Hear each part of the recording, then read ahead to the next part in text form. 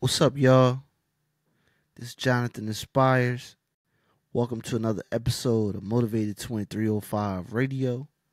Coming at y'all Friday, November 1st. What's going on with y'all? What's going on with y'all, family? Hopefully, y'all having a wonderful and blessed day.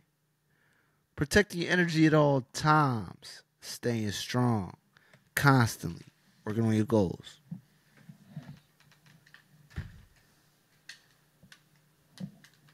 Well, the Los Angeles Dodgers won. They won the World Series, y'all. We the world champions. 2024 Los Angeles Dodgers. Let's go.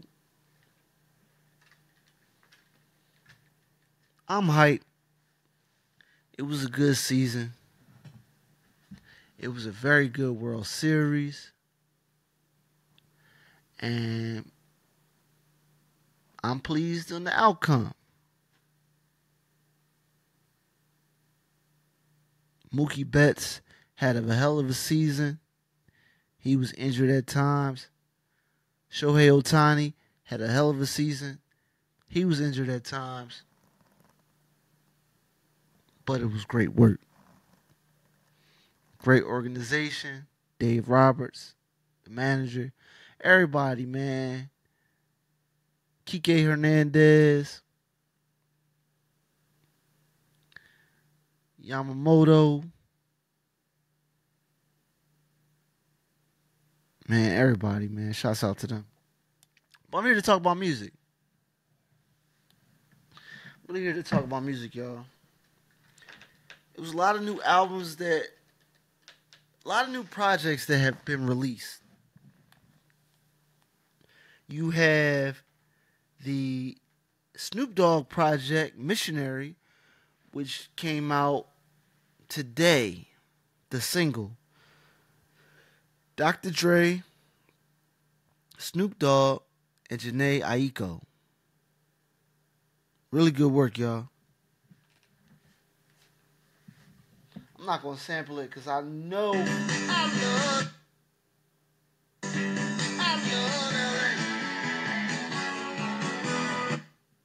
I know Snoop's gonna get me blurred if I play his music.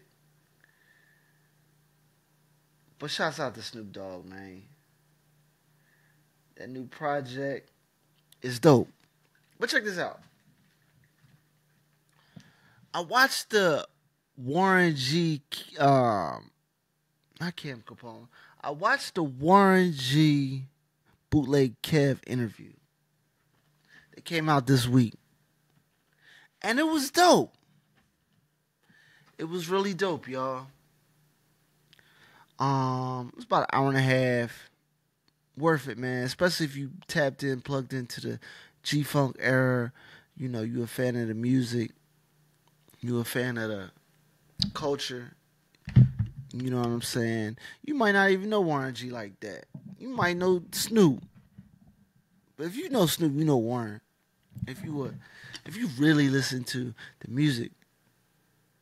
I mean, I don't know how old you are. You could be younger and not know who Warren is, but without Warren G, you don't have the G Funk. You don't have Nate Dogg. You just don't have it. You know that everybody gives shouts out to Dr. Dre, which Dr. Dre is the man. But without Warren, you don't have that body of work.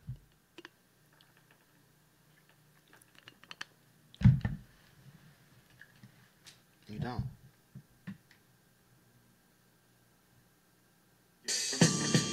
What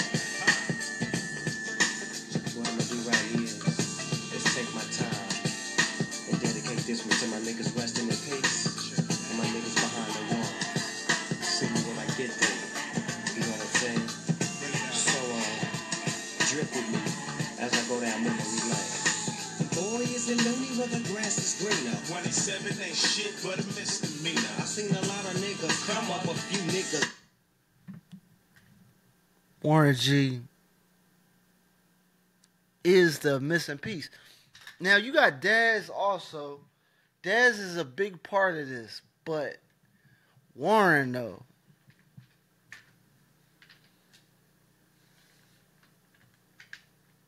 His first album, G Funk Era, a classic.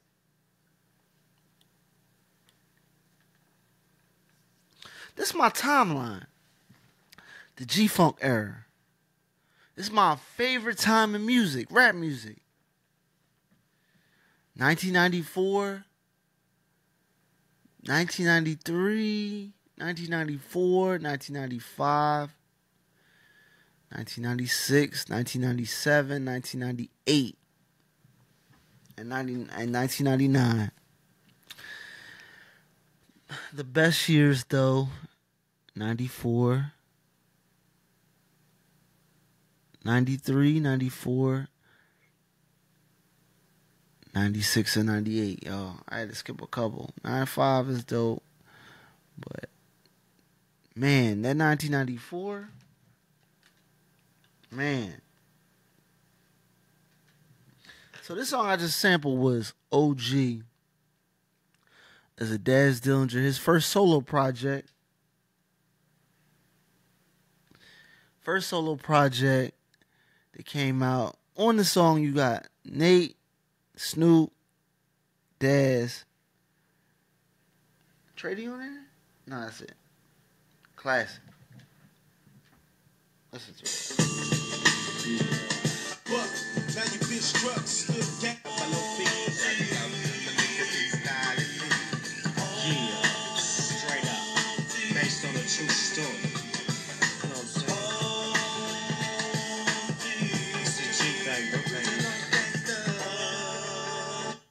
Nate Dogg is one of the best singers of all time. Without Nate Dogg, I don't know. I don't know. Without Nate Dogg, I don't know.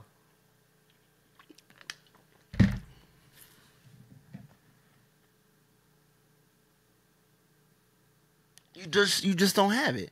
I mean, Nate and Warren are probably the best parts of Death Row Records. And they weren't and Warren wasn't even on Death Row. He wasn't signed.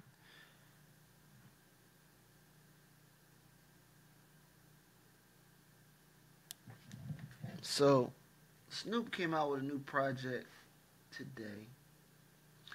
Real quick though. Now this is probably the first project that I know that Warren G was on that I know of.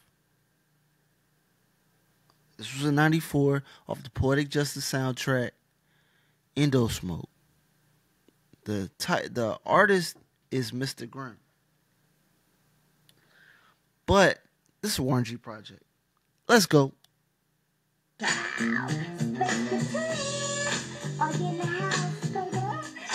the house? You understand? 'Cause it's All right, let's go on forward up a little bit.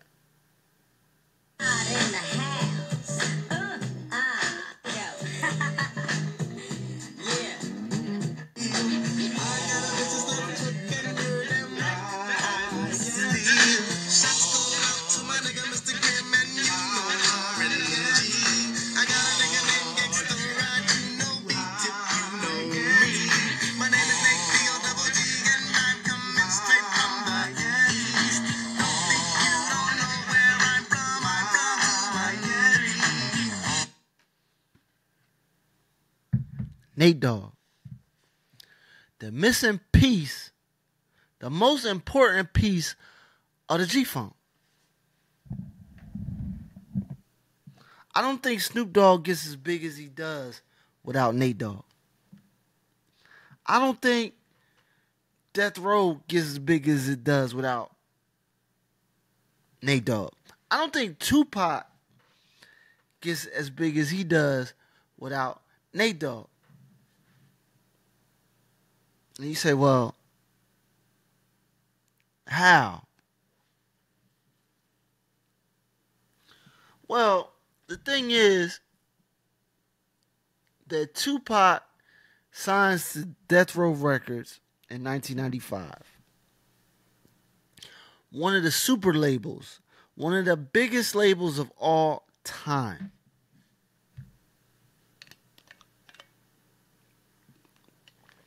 Biggest label of all time. And Tupac helps the label, but the label helps Pac as well.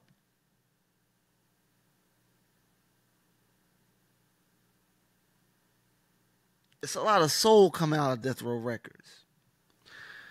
You know, I gotta mention Jewel. I gotta mention Danny Boy. I gotta mention Michel'le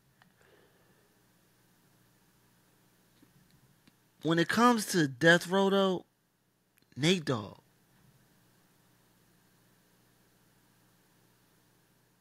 They called him the King of Hooks. I was talking to my daughter about it, and she was like, "Well, why didn't they call him Captain Hook?"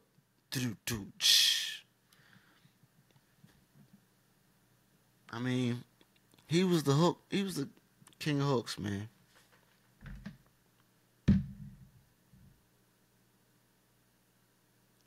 A lot of soul coming from the G Funk era, Death Row Records, that West Coast. Besides Nate Dogg and what Death Row had going on, you had the singer LV from the group South Central Cartel. A lot of you guys know him from that song Gangsta's Paradise featuring Coolio. But it goes deeper than that. He got a lot of hits, a lot of classics, a lot of soul. Rapper LV. You also have Montel Jordan with This Is How We Do It. Another song that was big at this time.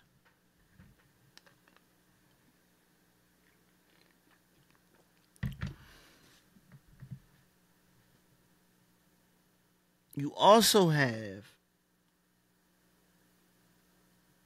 Danny Boy. Well, no, that's Death Row. All right, let's get off that. Uh, who else was singing? It was a lot of singers, y'all. It was a lot of soul. Bone Thugs-n-Harmony, they came out rapping and singing.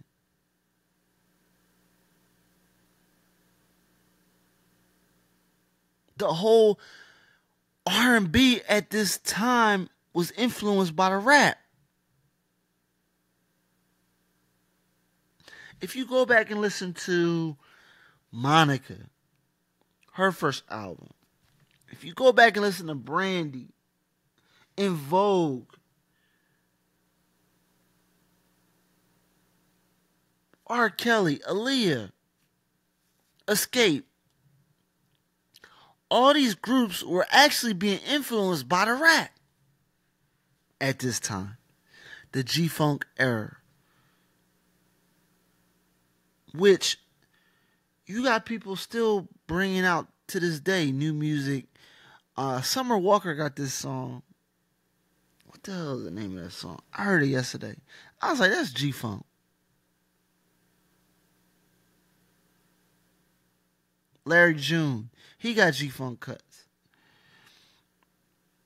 There's a lot of artists today. It's a lot of um a lot of pop artists that take a bar of this G Funk sound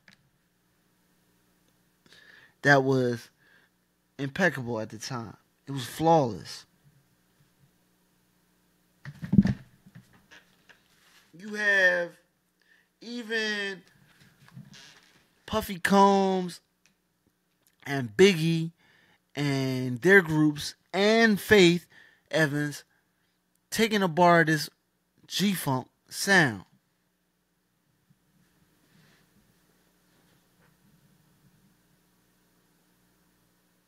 Now the Bay had their own funk.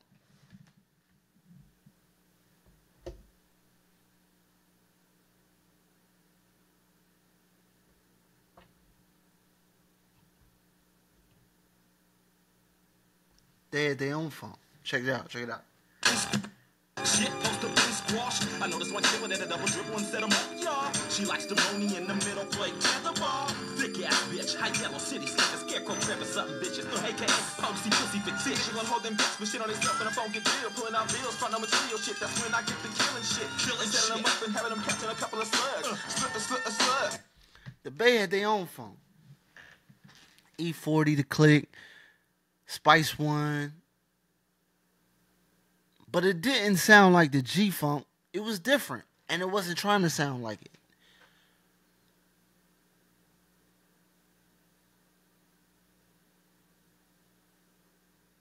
You could say that G Funk, locational wise, you know, you could say Long Beach, California. You can say Pomona, California. Shouts out to Above the Law. You can shot. You can say Ohio. Shouts out to Zapp and Roger Troutman. And a lot of a lot of R and B groups from Ohio that influenced the G Funk sound. You got to say the church, the black church, because that's where Nate Dogg learned how to sing.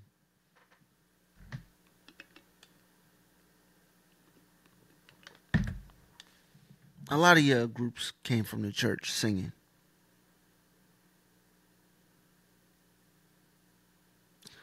You can say that Midwest. You can say that Long Beach, that Pomona. Um,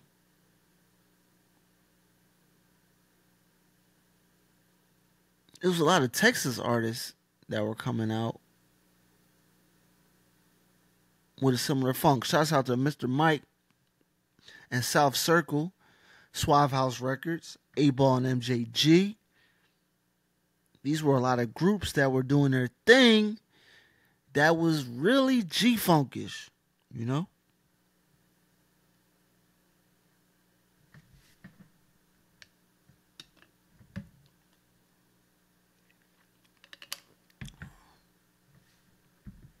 That G Funk era is my favorite sound, rap and R&B wise. The same. You know when Aaliyah had on the bandana, that sound, that funk sound.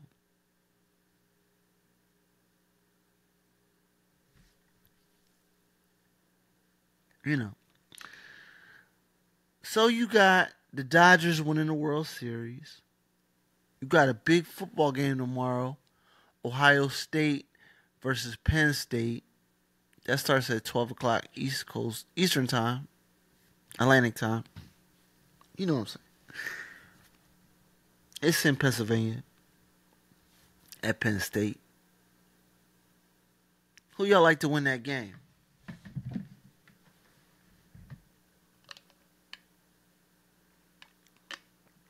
You know I'm going with that Ohio State, man.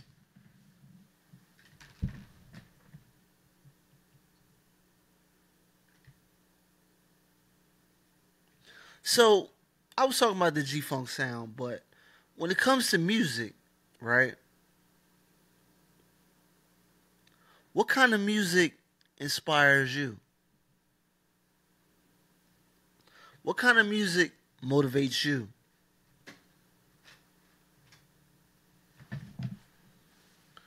Music really can take you to a location, to a place, instantly. The right music.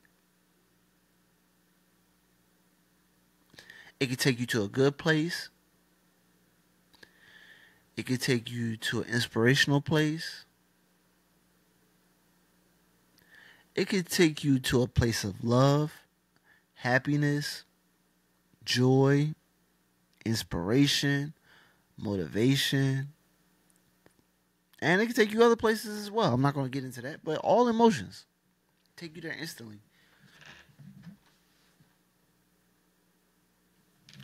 It can also it's like music can take you a place like let's say you want to go to Chicago, right? Bam, you buy your ticket, it instantly takes you there.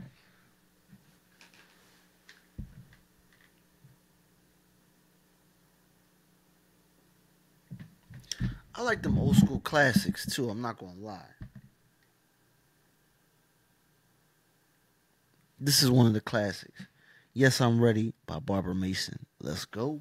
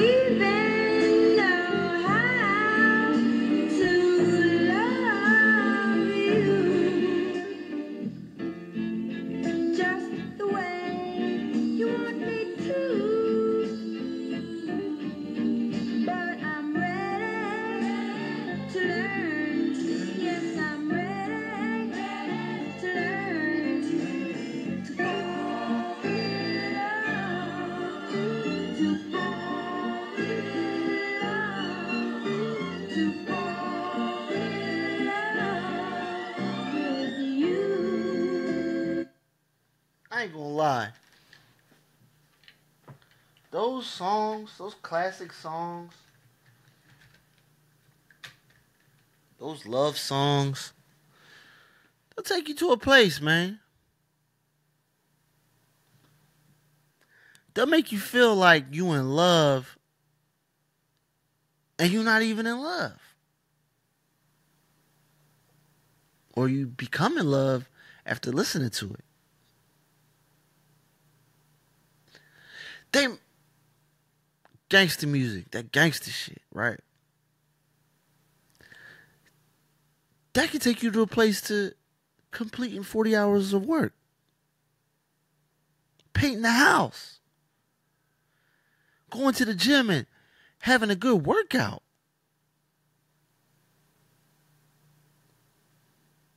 Music is inspirational. Making love. A lot of things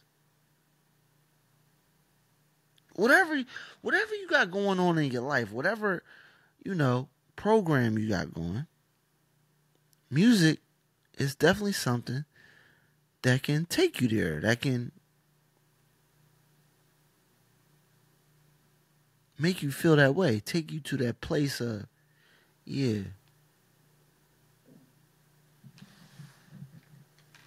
So, Barbara Mason, I'm ready. Is definitely one of them ones.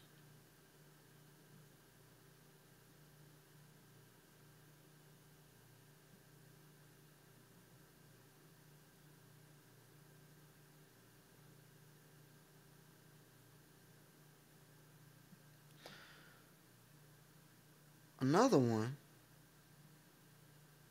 that I have to say is one of my favorite songs of all time. Is this?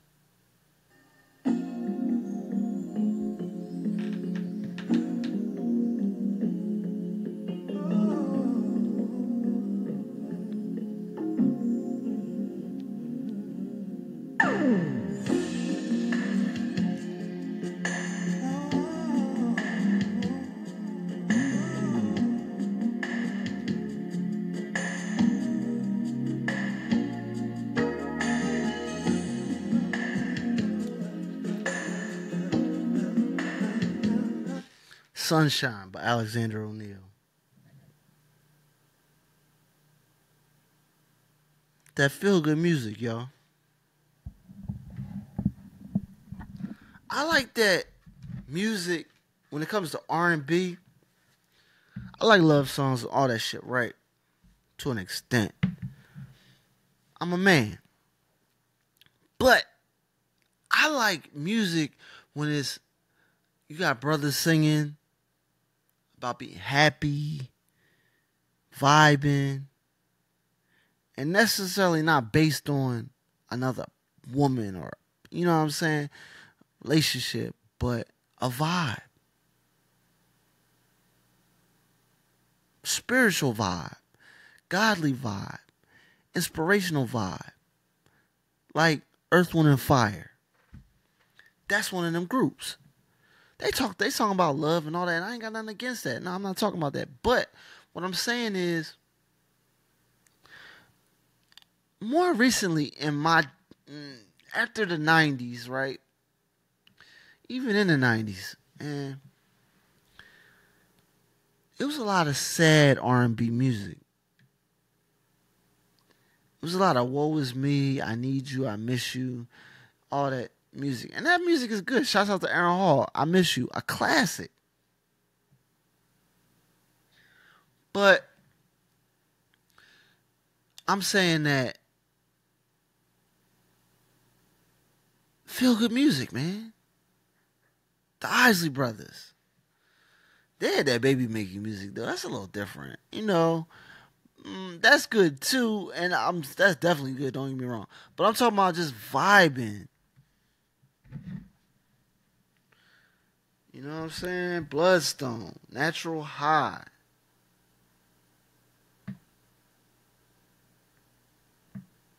Michael Jackson had a lot of music like that.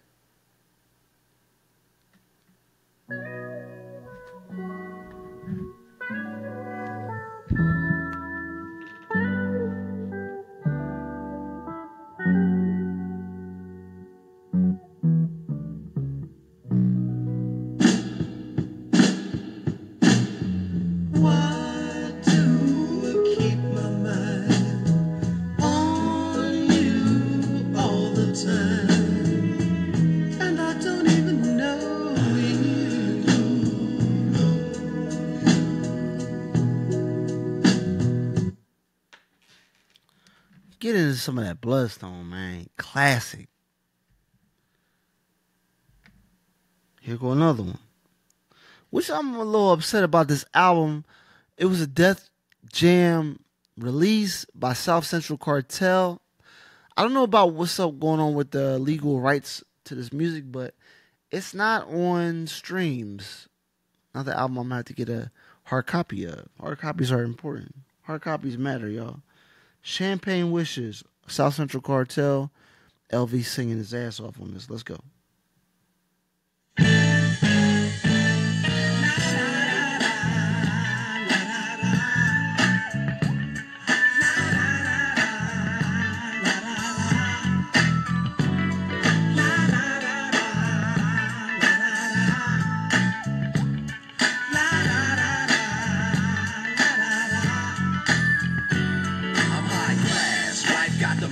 The mink and skull. I'm drinking Dom Perignon bathtub.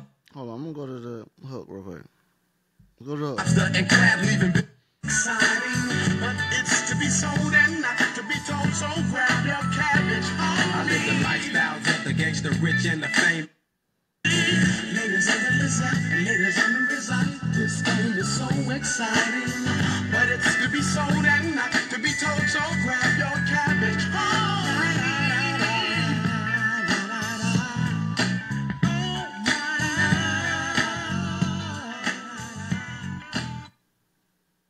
That feel good music, y'all. You know? That's what I want to do. I want music to take me to a place where I feel good.